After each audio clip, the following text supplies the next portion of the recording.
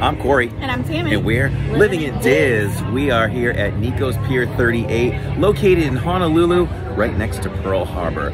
Are you ready for a food review for a restaurant off the beaten path? Let's go!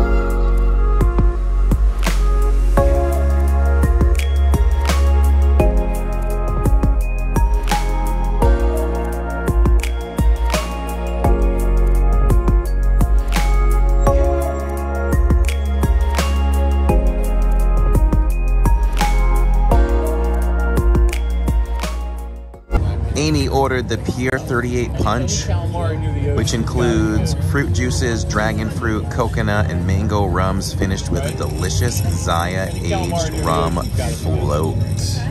It was delicious. Really good. It is delicious. You know, like if you were in Nebraska, I don't know if I'd eat it, but So I tried the fish bites, described on the menu as their famous fish bites recipe served with lomi tomato and sriracha aioli.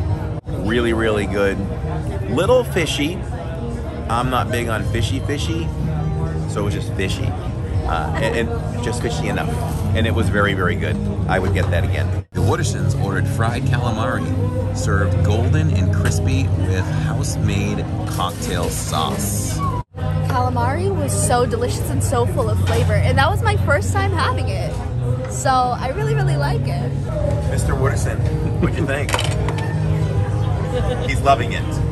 So I thought the fish bites were pretty good. I think that there was nothing wrong with it. All the flavors together um, were fine. Nothing was bad. I thought it was pretty good. I'd recommend it. I just want to talk about this juice. It's even better when you include these juices along with this mixed tomato and everything. Gives it so much more flavor. And I just wanted to add that the fish is a little bit more dense if you're used to something like Atlantic cod. Mr. Wooderson ordered the furikake, pan-seared ahi. That's described as fresh tuna ahi steak coated with Japanese dried seaweed and sesame seeds, then cooked to order. From rare to well done, served with their famous ginger garlic cilantro dip. I thought it was excellent. The tuna itself was excellent. Ahi. Um, gotta do it rare. Anytime you're doing something like that. And I felt like it was perfectly seared. I felt like the interior of the tuna was exceptional, especially like on the interior of the meat itself, because the exterior was like on the edges, it was a little bit over overcooked beyond rare, but otherwise it was very very great. I had the green beans and carrots with it, and I was a little bit disappointed with the carrots. They felt a little bit tough. I would have liked them to be a little bit um, soft, but otherwise it was a fantastic meal. I really liked the crust on the fish as well. That was probably the highlight for me. I would say overall, I'm not going to do Mickey's. I'm going to do Moana's, and I'm going to say four out of five Moana's. Jacob enjoyed the margarita pizza, classic pomodoro, tomato, basil sauce, mozzarella, basil pizza topped with fresh arugula. So there he is. So I thought that um, the pizza was pretty good. The the cheese was pretty uh, solid, I guess you would say. the crust was very good. It was cooked, cooked to uh, ex- perfect extent. The tomato and like everything else made it a little sweet, I guess you could say. But overall, um, I thought it was pretty good. Out of I give that solid three and a half. Ted ordered the Pier 38 cheeseburger. is described as our famous double burger with lettuce, tomato, red onion, house dressing, and cheddar sauce. Comes with your choice of garlic salted french fries or a spring salad mix. What'd you think, Ted?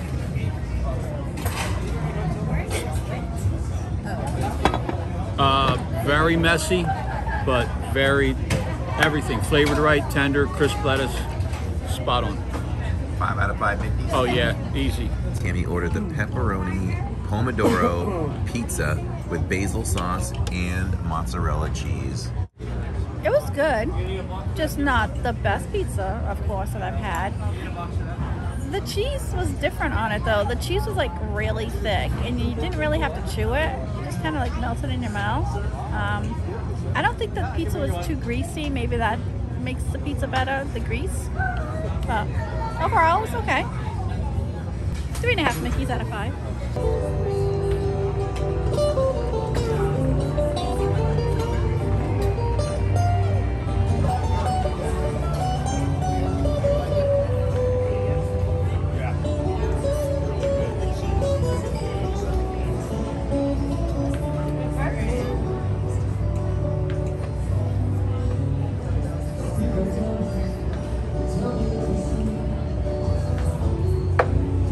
And I ordered the fish and chips, described as fresh fish beer battered and served with garlic salted french fries and our famous ginger garlic cilantro dip. What'd you think? It was very tasty, and I enjoyed the swordfish because it was a swordfish. How many Did you Mickeys like out of five? I'm gonna say four. I will agree with everything that Amy said about the fish and chips. It had a more of a thickness to it, but it was really good. It wasn't fishy, like I said. Uh, I'm, not, I'm not a big fan of that, and the waiter assured me of that, and I really did enjoy that. The fries were fine. Um, I thought the Jillian's fries were cooked a little bit uh, less than mine, which was better. Mine were a little bit overcooked to my liking, but overall the fries were really good.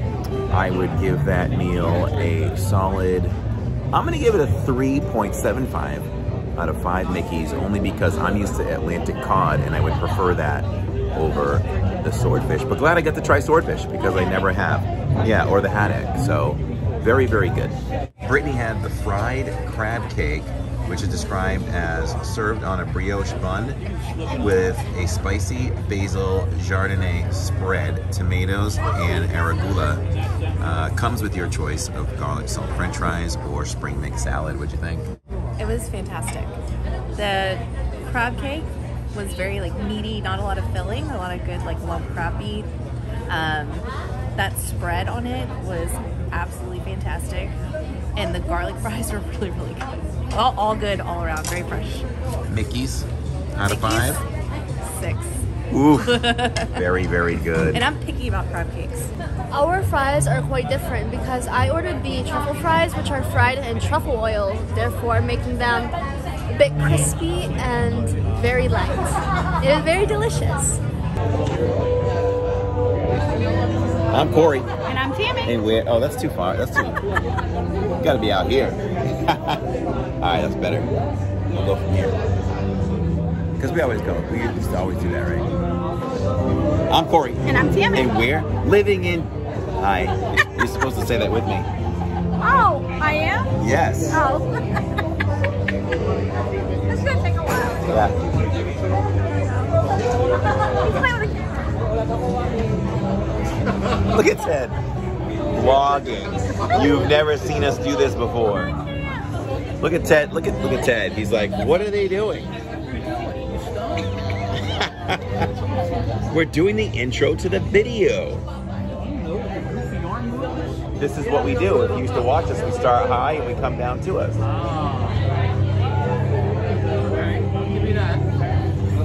I'm Corey. And I'm Tammy. And we're Living living in in Diz. We are here at Nico's Pier 38, located right near Honolulu in Pearl Harbor. Maybe we're in Pearl Harbor. Maybe we're in Honolulu. Let's do that again. Are we in Honolulu? Can we clarify? Are we in Honolulu? Pearl Harbor than Honolulu. Where should I say we are? Like in Honolulu? Or in Honolulu near Pearl Harbor?